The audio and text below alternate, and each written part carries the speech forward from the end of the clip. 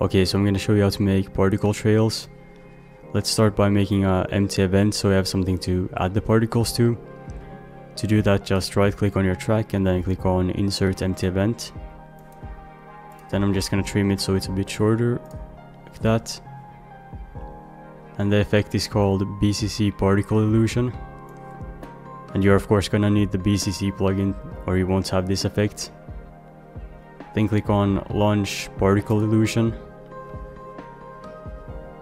to open up this. And I'm not sure what the default layout is so if you have a different one just go to view and then click on load layout create and you should have the same one. Then all of your preset emitters should be here. You can go through them and just preview them here. I'm gonna use this one glitter sparkles that's the one I use in most of my edits.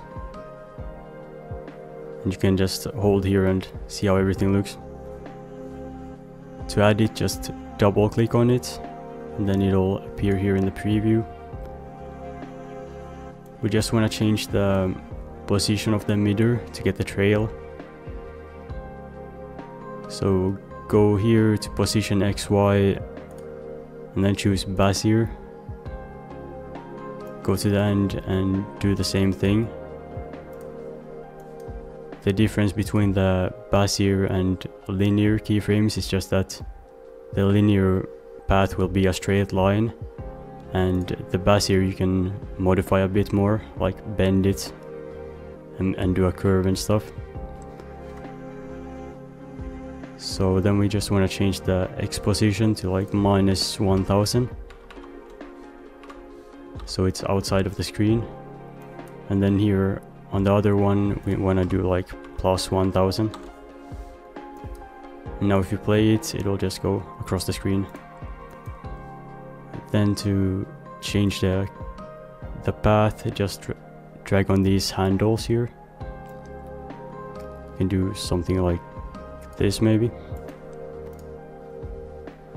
And then don't move like this you also have some settings here on the trail, so you can change the particle life and the velocity and some other stuff.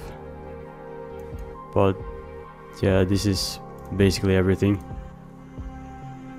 Then to change the color, I don't think we can do it here. So let's just go ahead and add some hue to it or, or a tint.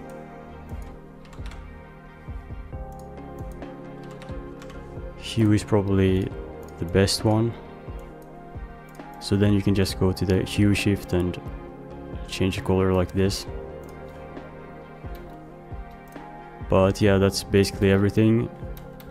I also have some other particles I could do tutorials on, like Trapcode Form and and some other stuff. So yeah, let me know if that's something you're interested in. But that should be everything, so yeah.